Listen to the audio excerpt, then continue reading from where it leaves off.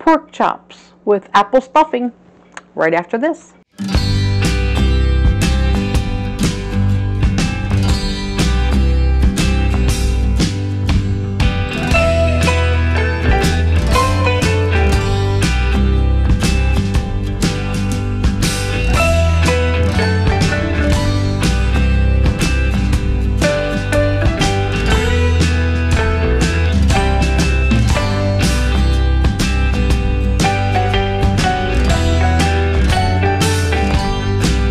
Hey Garden Maters, welcome to Corner Homestead. So I'm getting ready to put supper into the oven again and it's a recipe that I wanted to share with you. It takes no time at all to make, so easy and it is truly one delicious filling meal. So today I am doing boneless pork chops with apple stuffing and I use a supermarket hack which is my stove top. Let's put it together real quick show you how easy it is. I think this is one recipe you're truly going to enjoy. So what do we need for this meal? I'm so glad you asked. You're going to need one box of stovetop stuffing. This is a twin pack, but I'm only going to be using one. One medium-sized onion. If you have a large, you would only need about half of the onion. Going to need one apple, good size apple. You want to have at least one cup of apple once it's diced. If you need two small ones, that's fine too. You're gonna need one cup of celery. Unfortunately, I do not have any fresh celery here today, but I'm gonna use a jar of my canned celery that I did last year. If you didn't see the video on how I did this, please feel free to go back and watch it. I'll leave it at the end of this video in the corner. Be easy just to click on it but this is going to work out perfect because it's not just for soups and stews. You're going to need a stick of butter or margarine. I'm going to use the margarine. You need six to eight boneless pork chops. That's going to equal about two pounds. The only other thing you need, chicken broth. We're going to need about one to one and a half cups of chicken broth to put into our stuffing.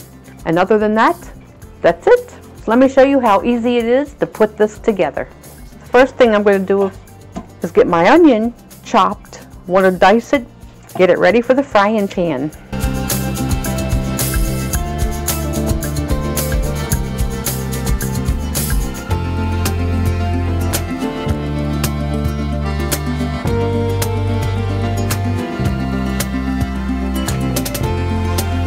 Okay, so the onions are sauteing. Before I start the apple, I want to let you know that if you have fresh celery, you would also add the celery in now. Let them saute with your onions. Because I don't have the fresh celery and I'm going to be using my jar of canned celery. It's already cooked, so I'll be adding it in later. But add your celery now if it's fresh. So I thought the camera was recording, but it wasn't. So I've diced up my apple into small pieces. And this is one whole apple. So our onions are pretty well done. You don't want to cook them too, too long because they are going to cook mainly in the oven. So we'll go ahead and add our one package of stovetop. And this is the chicken flavor. You can use turkey if you prefer. We just like the chicken flavor the best. Going to add our one cup of chicken broth or more. You can use your own judgment. You just want it until until the breadcrumbs are really good and saturated. So this was about probably one cup left in this container. And I'm sure I will be adding more. Just give it a few minutes for the breadcrumbs to soak in the chicken broth. But I can already see I'm going to need more. And while you do this part, you do not have to have the flame on or the fire. Now I'm just going to add my jar of celery. Because my celery is already cooked, that's why I can add it now. A little bit more chicken broth. You don't want it to be dry. So now I'm going to add my apple. You just put it, put it right on in there. Oh, I wish you could smell it. So that is it. This is our apple stuffing. Now we're going to go ahead and assemble it in a casserole dish. Okay, so in my casserole dish, I do have it lightly sprayed with cooking spray. So I'm going to go ahead and line the bottom with my pork chops. Now I have nine pork chops, but I don't think I'm going to get them all in here.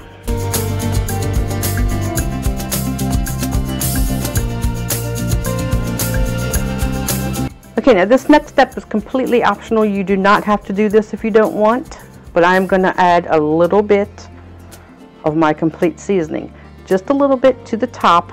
I just think it gives it a little bit better taste. But like I said, it is totally optional, but just a little bit to the top to season the pork.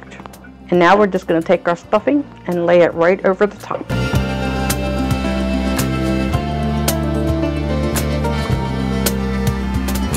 So you want to cover it with some aluminum foil and it's ready for the oven. Okay, so this goes into the oven now at 350 degrees because I want the pork to be completely done and as tender as possible. And of course you want it heated completely through. So keep a check on it, but you want to bake it 350, 350 degrees for at least a minimum of 90 minutes. Okay, so it has been 90 minutes exactly.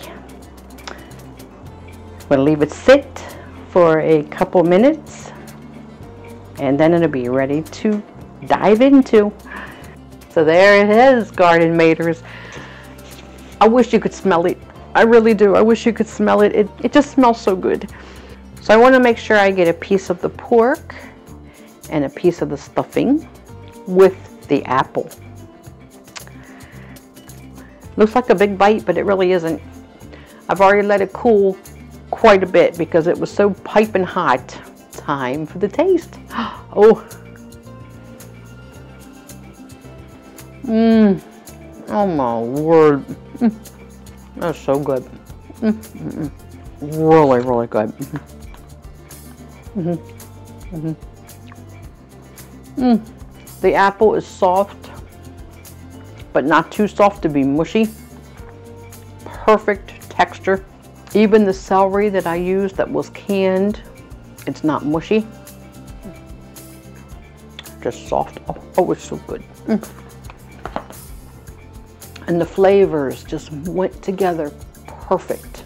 It's, it, it's, it's really, really good. Mm. So my mom used to always make pork and stuffing in the oven exactly the same way but she didn't put the apple in.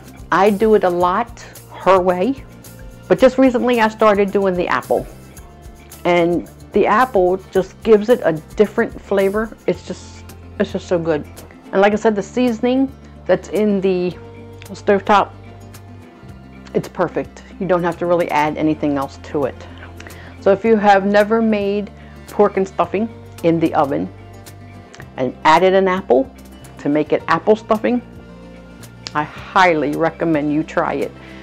Now one other thing you can do if you don't want to add so much of uh, chicken broth into the stuffing when you're doing it in your pan, you can add a little bit of applesauce. Takes it up even higher with that apple flavor.